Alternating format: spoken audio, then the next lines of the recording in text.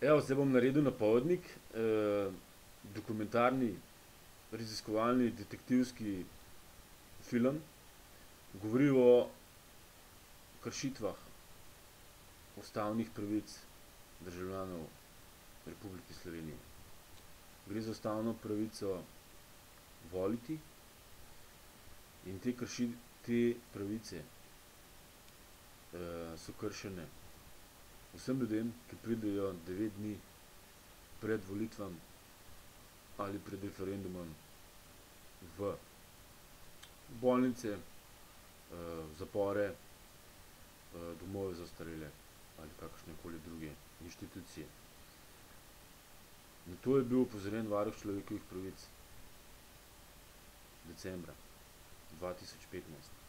Dva tisoč šestnajst je januarja začel ukrepati varuhinja Vlasta Nussdorfer. Je poslala ministrstvu za javno upravo, ne, Koprivnikarju, da to uredi. Tega ta vlada ni naredila, Cerarjeva, poslanci so to zavrnili.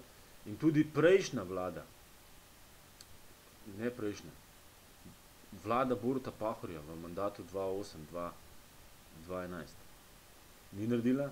In takrat je bil predsednik vlade, Borut Pahor, je prevzel resor Ministrstva za javno upravo. In je on neposredno odgovoren, da se to ni naredilo, ker je bil minister na tem področju in tudi koalicijo je sestavil in tudi poslanci so takrat zavrnili to spremembo.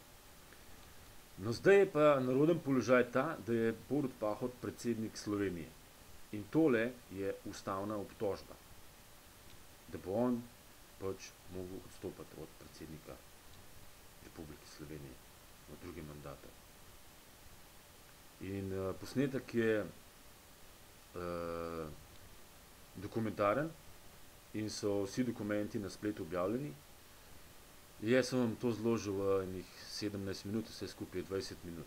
In to gre lahko direktno na ustavno sodišče, v parlamentarno komisijo, na vsako policijsko postajo, na vsa evropska sodišča, na vsa veleposlaništva.